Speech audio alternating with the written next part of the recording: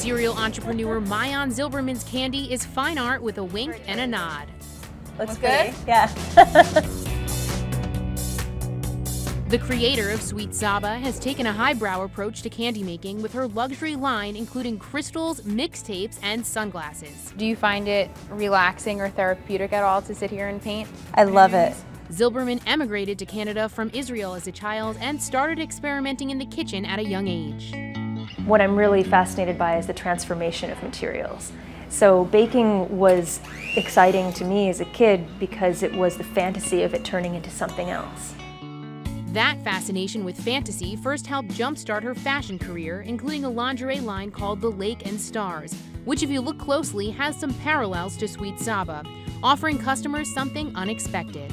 Really, the message of that brand was to empower women who weren't used to wearing lingerie to understand what they might be able to experience in that realm. But as her business grew, she felt farther and farther away from the end product. Then came the candy. I wanted to get back to my roots of making art, and I didn't have an art studio at the time, and I started making small sculptures in my kitchen where I could make a mess.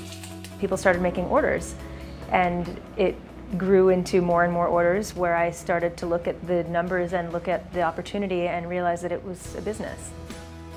From there, it was full speed ahead, with Zilberman being drawn to the idea of creating a product from scratch again.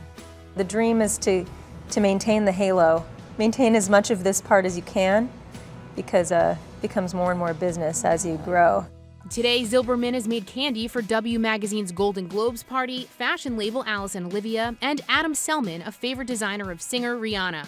And there are some other unconventional clients. I got a call from uh, Worldwide Wrestling. Really? Yeah. What did they want? They want me to make them a big uh, candy belt. Ah! You never know who's going to call, and that's really what's fun about it is that it touches so many different kinds of people in different ways. For this candy maker, the customer response is a sweet payoff. With candy, it's something that's very accessible, so someone of any age and any demographic, any culture can appreciate it and understand it because everywhere in the world they have sugar. Hey YouTubers, are you looking to land your dream gig or start your own business? Well, you found the right place. You can learn from fellow entrepreneurs and peers that are embarking on their own journeys. Subscribe by clicking right here and click on all the videos around me or the eye right here to join CNBC on the journey to make it. We're going to motivate and inspire you, but you'll have to bring the fire.